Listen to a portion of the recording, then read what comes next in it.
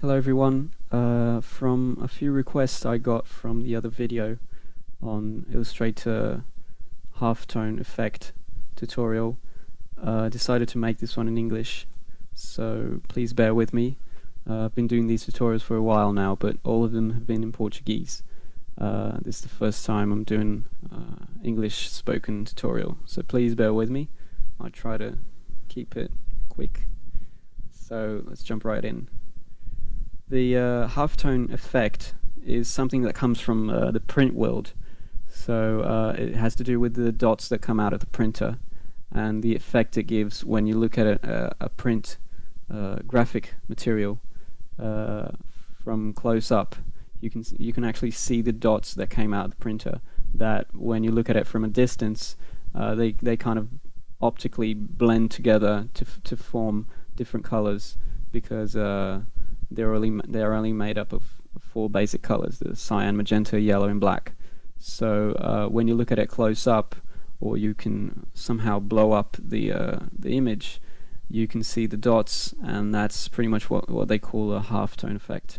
So we're going to do that in, in Illustrator without having to open Photoshop. I think that's the most important thing. Uh, this effect, you can do it entirely inside Illustrator without having to uh, go port from Illustrator to Photoshop, uh, do the effect, and, and, and, go back to Illustrator. So uh, I'm going to start with a shape, basic shape here, just to use an, as an example. Uh, but the best results you get from when you have some kind of color nuance or tone nuance like a gradient for example if if you if you apply the effect on a solid color like this it's gonna look pretty boring like a it's gonna look basically look gonna look like a uh, a regular grid of dots. So that's that's not what we want. We want something more interesting. So I'm just gonna apply a simple gradient here on the gradient panel. Select the radial gradient from black to white. And what we're going to get here is uh, when we apply the effect the dots where it's black are going to be larger and the dots where it's white are going to be smaller so uh, we can go to object. No actually we can go to effect pixelate color halftone so this is a Photoshop effect as you can see here in the group Photoshop effect.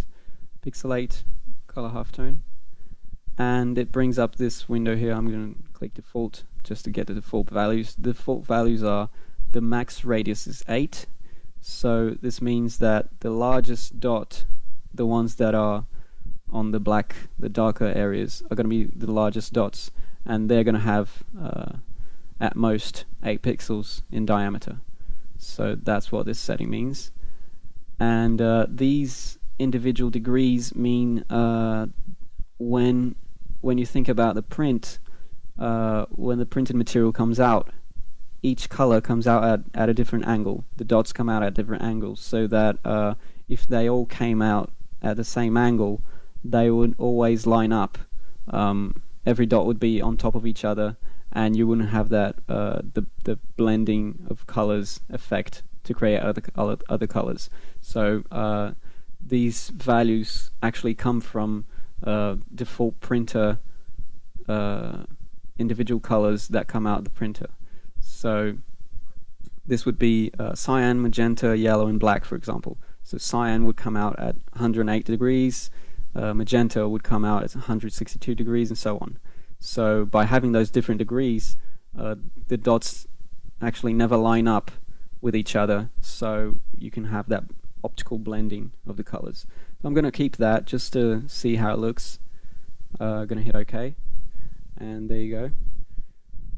So we have this quite dense looking uh, effect here of the dots, At, and if you look closely, um, you can actually see the angles like magenta is coming out at this angle and cyan is coming out at this angle and yellow is coming out at this angle those are the angles that we had set up uh, in that previous little window that popped up.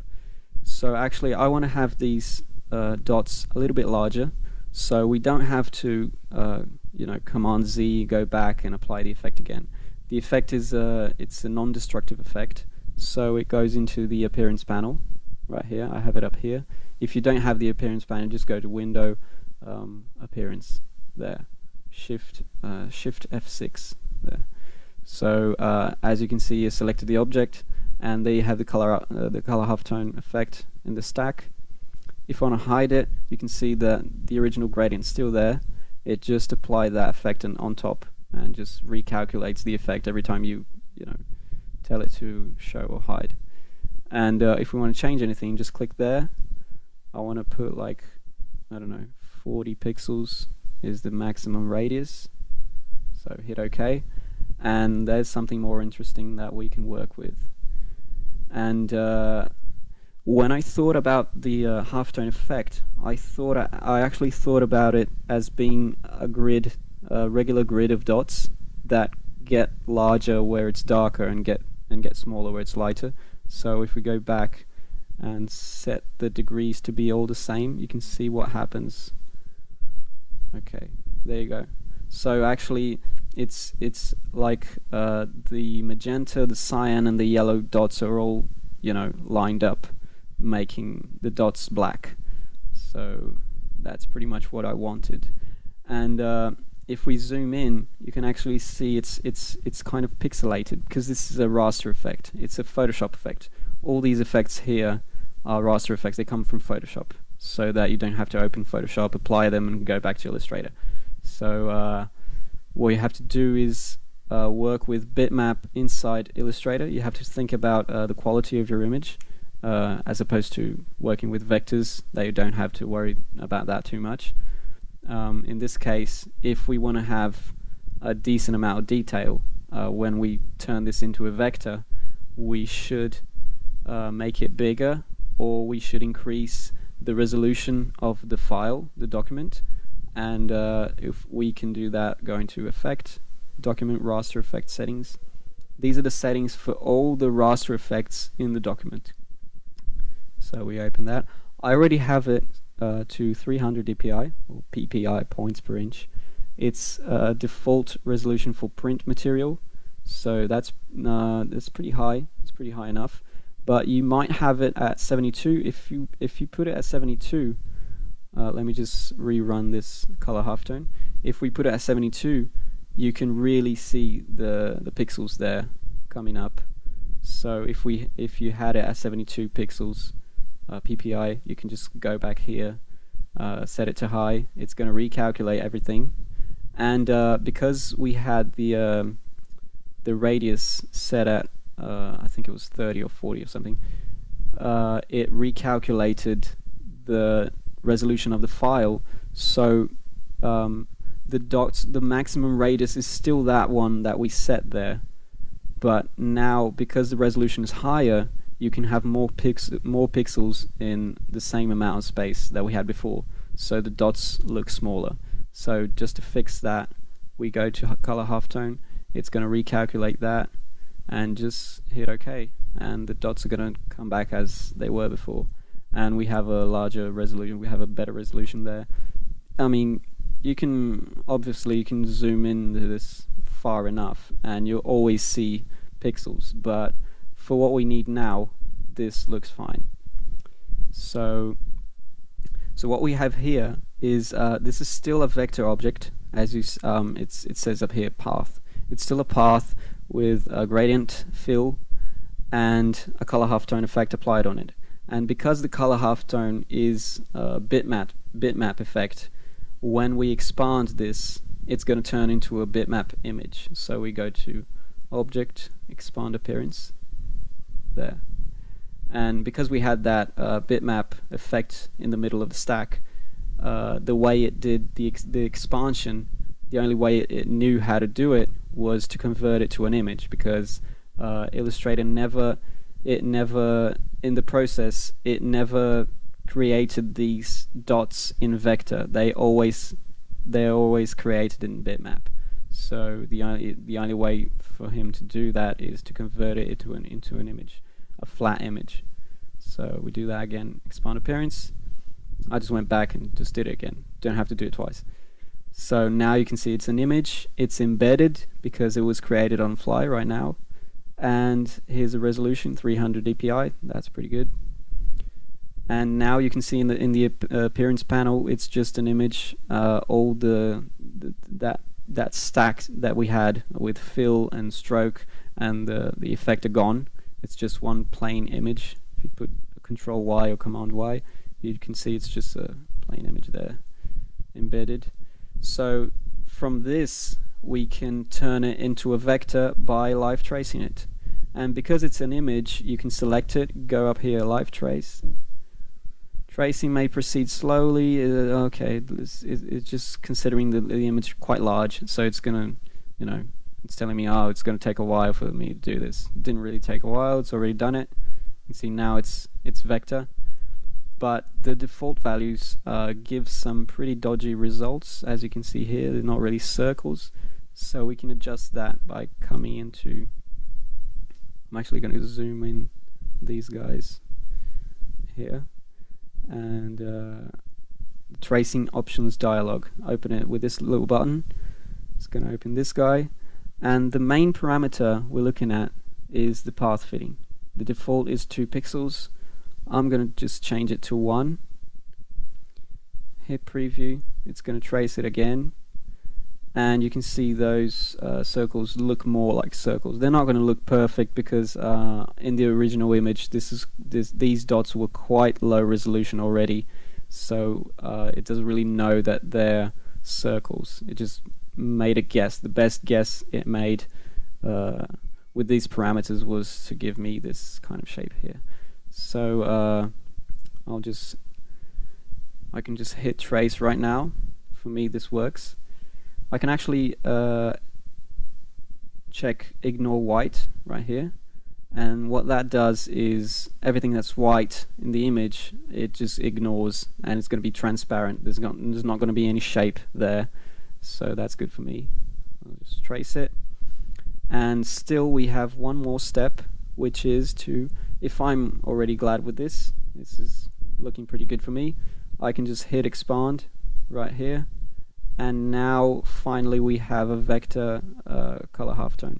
Again, it's not perfect because it's resolution dependent, and uh, if you want if you want to adjust that, if if you want like perfect circles, uh, you can go back and bump up the uh, the resolution for the file or make make the image bigger, uh, whatever you need to uh, get the highest resolution you need to when you live trace it. It um, it looks the way you want it. So that's pretty much how you get a vector halftone. It the basic rule is you need a um, a bitmap image and then you live trace it with the parameters. So you can create a, a bitmap image in Illustrator from pretty much everything. I mean, uh, if I don't make a, a, blend object, here select these guys, uh, Option Command B for blend, and uh, we can apply the effect color halftones already here. Okay whatever. No actually color halftone let's put those 40 pixels equal degrees there. And now if I want to um, just a second. There. Okay. If I want to transform this into a vector um, halftone, it's the same process, just just the same diff the, the only difference is instead of going to expand appearance, we go to rasterize. We can go to rasterize as well. We can rasterize this, uh, set the resolution right here. Okay, it's going to rasterize. Okay, so now this is an image, as you can see here, and then you just hit live trace again. You can adjust these guys um, just one thing the minimum area is uh, it, it's telling like what's the, the, smallest object that can come out of this uh, this tracing. So if we put like just check preview if we put like 80 pixels or more perhaps I don't know 200 pixels. So the the smallest object is going to have is going to be this big. So the the smallest dots here that are smaller than this size, I don't know if this is a area or whatever, they're not going to be traced. So they're going to be ignored.